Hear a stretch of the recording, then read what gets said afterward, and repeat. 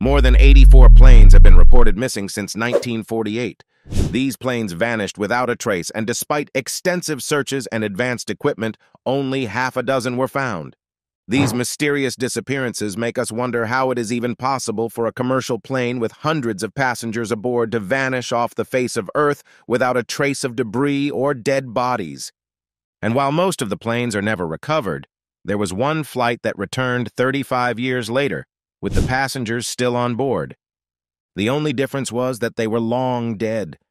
This is the story of Santiago Flight 513, a commercial airline that took off on September 4, 1954, and landed on October 12, 1989. Imagine two towns on two opposite sides of a mountain. If people from one town wanted to visit the other town, they would have to travel all the way around the mountain to get to the opposite side. But if they wanted to get there faster, they could dig a tunnel straight through the mountain to create a shortcut. That's the idea behind a wormhole. A wormhole is like a tunnel between two distant points in our universe that cuts the travel time from one point to the other. So instead of traveling for many millions of years from one galaxy to another, under the right conditions, one could theoretically travel through a wormhole to cut the travel time down to hours or minutes.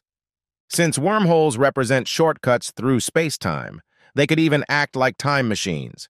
You could enter the wormhole at one point in time and emerge from the other end many years into the future or past. Human fascination with wormholes and time travel isn't new. And while we understand these concepts theoretically, there's no evidence that you could travel through a wormhole or time physically. However, every now and then, an exceedingly bizarre event surfaces that makes us question if such travel could already be happening around us. It's not unheard of for planes to disappear, but there's usually evidence of what happened during those events to indicate that the aircraft crashed. For example, debris, luggage, or records of the pilot radioing for help. However, there are cases when aircraft set off from one point but never reach their destination. There are no reports of distress, not even bad weather to pin the blame on. They are just never heard from again, with nothing left behind. One such aircraft was the Santiago Flight 513, which disappeared without a trace. But this story is even more shocking because the plane reached its destination 35 years later. How could that be possible? Maybe the Santiago Flight 513 is proof that wormholes exist in our universe, but we will let you be the judge of that. Before you pick a side, let's find out exactly what happened to Flight 513. On September 4, 1954, Santiago Airlines Flight 513 departed from Aachen, West Germany, for Porto Alegre, Brazil. It was an 18-hour flight, and everything about the aircraft, the crew, and the passengers appeared normal. The aircraft was a Lockheed Super Constellation, a four-engined plane renowned for its dependability and extensive range. Santiago Flight 513 had taken many similar intercontinental flights across the Atlantic Ocean, as it did on the day it went missing. On that particular flight, the plane had 88 passengers on board with four crew members. When the plane took off, nothing seemed out of the ordinary, but the aircraft mysteriously disappeared over the Atlantic, supposedly lost forever. But here comes the twist. 35 years after its disappearance, the plane suddenly reappeared and landed perfectly at Porto Alegre's airport. Everybody at the airport was shocked. How could it be possible for a plane that went missing 35 years ago to land at its destination as if nothing unusual had happened? But something unusual had happened, and the airport staff found that once they entered the plane.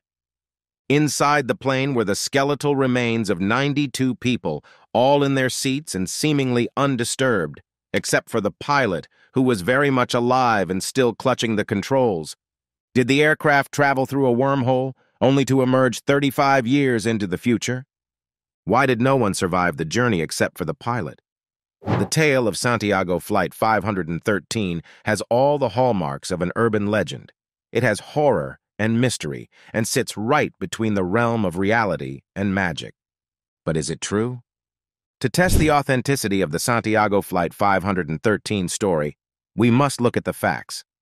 First of all, there are no historical facts relating to an airline called Santiago Airlines. Secondly, the city of Aachen is not known for a significant international airport from which a transatlantic flight could depart. Then there's the lack of official aviation records that would testify that Santiago Flight 513 ever disappeared or reappeared. Similarly, no news reports from that era highlight this supposed major event. No credible news outlets are known to have reported Santiago 513's disappearance in the 1950s or its reappearance in 1989. The first time the story surfaced was on November 14, 1989, through the Weekly World News, a U.S. tabloid famous for publishing fictional news stories. And finally, the tale of the mysterious 513 defies all known laws of physics and biology. After all, it is impossible for a plane to stay in the air for 35 years without refueling, not to mention the impossibility of human bodies turning into skeletons within the controlled environment of an airplane. So even though the story of Santiago Flight 513 has captured the imagination of people around the world, the lack of tangible evidence suggests that it is simply an urban legend rather than a historical fact. But it's important to remember that every legend has its roots in real-life stories. And while the legend may sound like a stretch of the imagination, there's always some truth in it. The story of Santiago Flight 513 may be fictional, but other tales of missing planes are as real as the invisible air around us. One of such stories is that of Malaysian Airlines, Flight 370.